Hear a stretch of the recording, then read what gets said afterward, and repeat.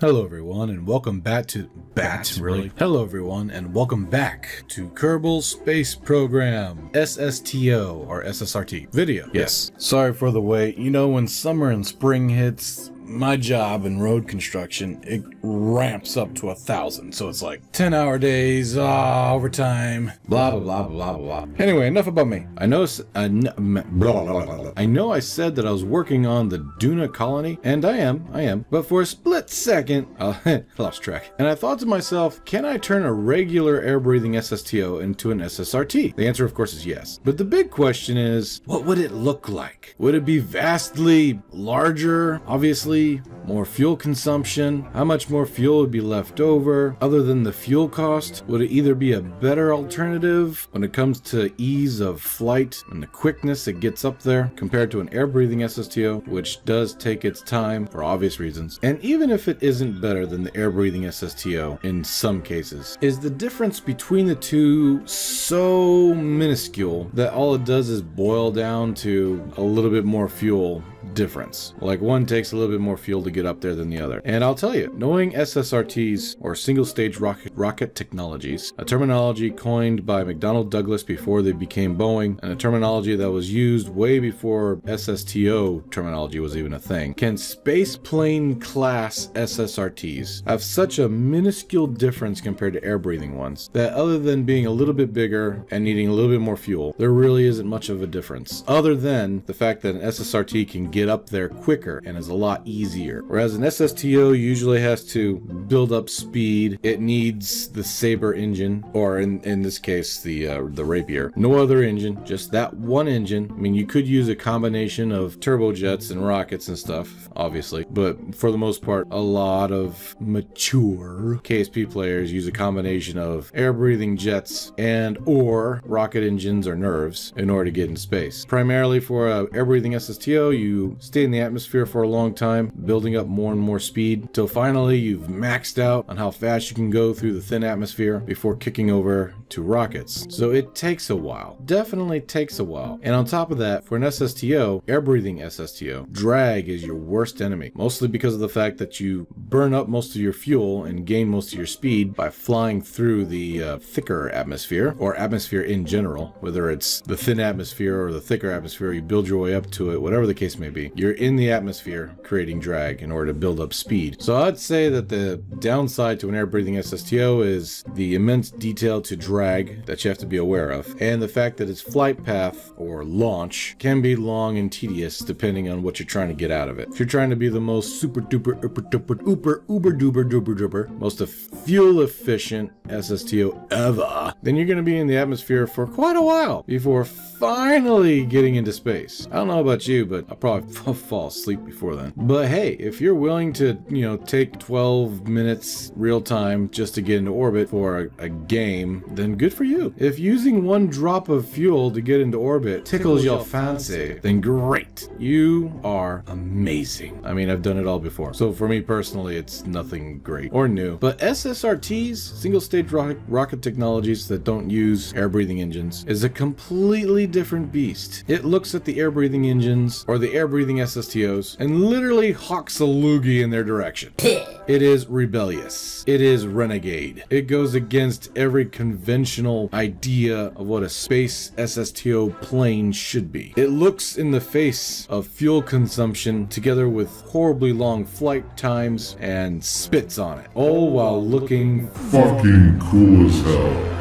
An SSRT doesn't care what you think. It's gonna take a crap ton of fuel and set that bitch on fire. It's gonna go screaming through the thick atmosphere within only a minute or two before reaching the thin to almost non-existent reaches of our Kerbin atmosphere straight into vacuum without hardly even feeling it. An SSRT doesn't really care if it's aerodynamically sound. Sure, drag is always a good thing to worry about, but for an SSRT, eh, not so much. It looks at the air-breathing SSTO and its absolute need for drag efficiency and scoffs at it. Why do you ask? It's simple. An SSRT cuts through most of the thin, thick atmosphere before leveling out to increase its speed. And by then, drag is basically non-existent, kind of like a rocket. So when it comes to flight, an SSRT is actually very easy to fly. Now an SSRT space plane, interestingly enough, I was asked this question. Does an SSRT space plane even need wings and does it help it in some way? Is it more efficient to just launch an SSRT without wings, like a regular rocket? The answer is actually twofold. One, I would say yes, although I really haven't tested this. This should be my next video, by the way. I should test the difference between space plane SSRTs and just regular launch pad SSRTs. But in my mind, what I believe without doing any research whatsoever.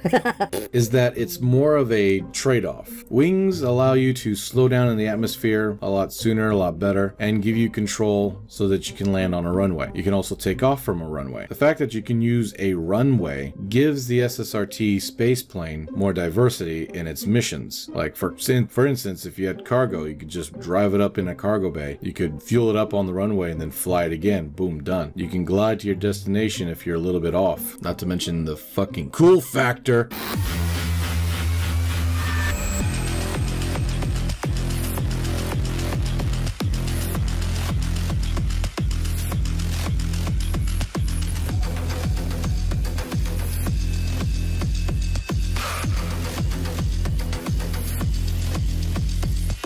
I would also imagine that you would be able to use less thrust. As long as you're going to about 45 degree angle, your speed would allow the wings to create enough lift to where the thrust could be used more, the delta V in the, in the thrust could be used more for getting up to speed than lifting the craft. Whereas a rocket, most of the journey going up, not most, well, you know, a good portion of the journey going up, a good portion of the fuel being used by the rocket is simply to lift its own weight, more than building up speed to whip around the planet. Whereas a SSRT spaceplane right off the bat kind of splits that TWR or splits the fuel being used by putting half of it into lifting up the craft, sure, but also half of it into gaining orbital speed. The reason why it can do this is because of the wings. The wings creating lift help lift up the craft instead of putting all of that responsibility onto the rocket itself like a normal rocket would. However, for a rocket,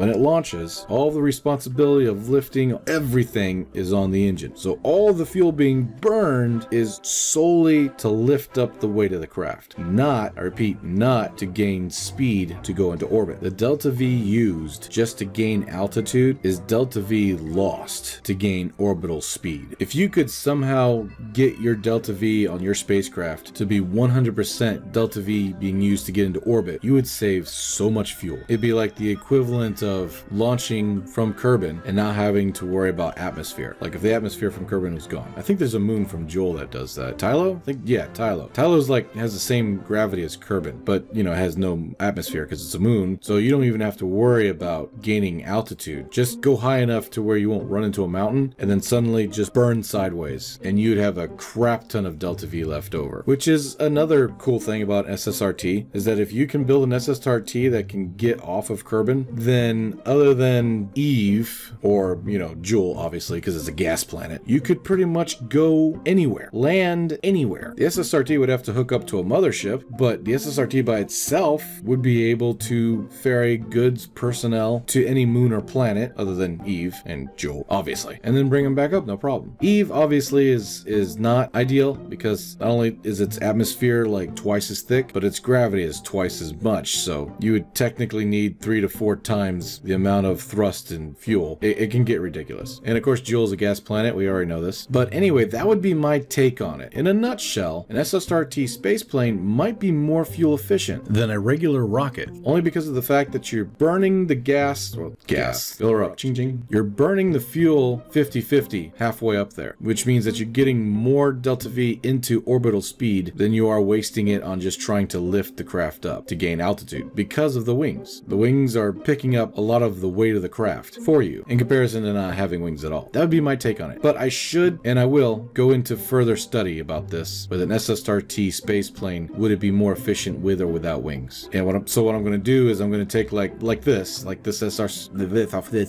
like this SSRT space plane, same amount of fuel and everything, and I'm going to try to take off all the wings and whatnot, position everything so it's you know stable. But then I'm going to launch it like a rocket and see if I get more more bang for my buck. I'm probably will, but it could be that I was right about my theory and that uh, I'll find out that it's not as efficient. Who knows? But anyway, so as you can see, I went ahead and took an existing air-breathing SSTO design and turned it into an SSRT design. I wanted to see if I could keep it somewhat the same size volume-wise. Now, granted, it turned out to be a little bit bigger, but not by much. Also, as I always tell you guys, the cool factor is very, very important when designing anything. So if you have to take that extra step, that extra unnecessary step to make the design look cooler, go for it. Now, I'm not talking about throwing a bunch of parts on there that only add to the weight and don't really help whatsoever. What I am saying, however, is take the existing parts that do help with the design on a mechanical level and shape or reshape or make them look better. As for instance, the T800 fuel tank, while I was able to get about 12 of them on there, it was just too many, too much, and it looked too bulky. However, with eight of them on there, four on either side, it was a lot more slender, better looking, but I still needed that extra fuel that came with the other four T800 tanks. So what I did was I took the smallest tank and simply stretched it out so the amount of fuel that was in a T800 tank would be in that stretched out tank that was comprised of about 20 of those smaller tanks in order to duplicate the amount of fuel that was in one T800 tank. So once I had the skinny tanks figured out, I put four of them on there. But now the craft looks nicer, looks better. Still has the same amount of fuel that I need, but looks way, way, way, way, way nicer. A lot cleaner, better. Also, because of the mechanics,